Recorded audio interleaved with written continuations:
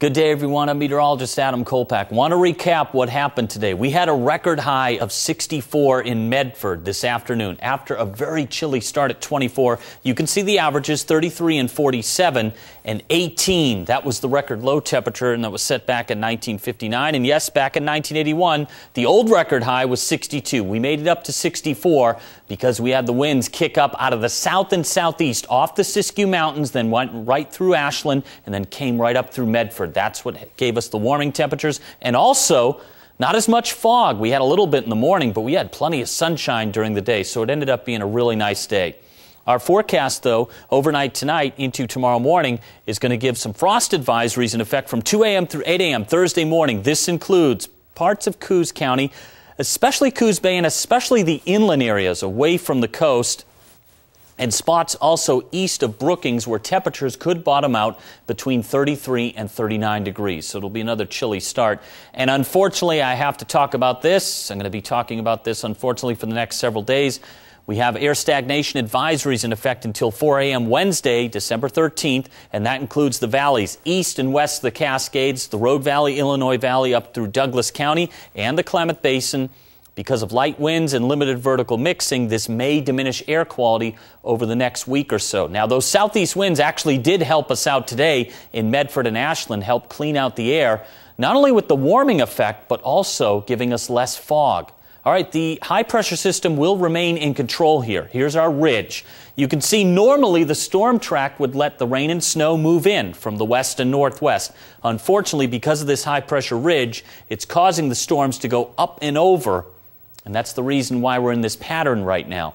We will still have some areas of fog, freezing fog, low clouds, especially late tonight and tomorrow morning. We should see, though, more sunshine and plenty of it during the day on Thursday. On Friday, we may have a similar pattern and also into the weekend. However, we may start to get more fog developing late at night into the morning overall. Our forecast for the coast, lows will be in the 30s and 40s.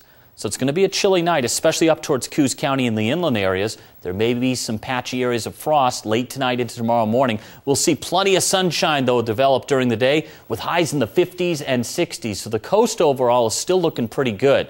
As we move inland, our low temperatures will generally be in the 20s and 30s. However, because of that south and southeast wind off the Siskiyou Mountains that's been moving into the southern parts of the Rogue Valley, I've kept the temperature up a little bit for Ashland, possibly lows only in the 40s, and highs generally in the 40s and 50s. If we keep up that south and southeast wind for tomorrow, with the sunshine, we may make it into the 50s and possibly even into the 60s in some parts of the Rogue Valley. East of the Cascades, low temperatures will be in the single numbers through the teens. However, I have it a little bit milder at 26, above the inversion for Crater Lake, and high temperatures generally in the upper 30s right through the 40s. If you are heading to Crater Lake, lucky dog you, it is looking pretty good with plenty of sunshine, but please grab the sunscreen because there's still going to be plenty of sunshine during the day and 12 and 47 for the numbers for Alturas. Here's our seven day forecast.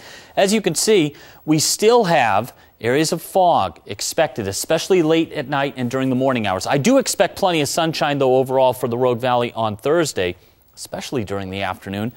Uh, Friday into the weekend into early next week, we may get back into the pattern of seeing more fog late at night and during the morning, and then gradually becoming sunny during the day. Highs should generally be in the 40s and 50s, but again, on Thursday, if we get more of that south and southeast wind, there could be some areas that actually make it into the 60s. Lows will generally be in the 20s right through the 30s. For the Klamath Basin, Chilly starts for you, but nice days ahead. Highs in the upper 30s, right through the 40s, with plenty of sunshine. At times, late at night and during the early morning hours, there could be some patchy freezing fog. From out Shasta City, your highs are looking good. 40s and 50s for highs, and low temperatures generally in the 20s, with plenty of sunshine overall. For the coast, Thursday's looking pretty good.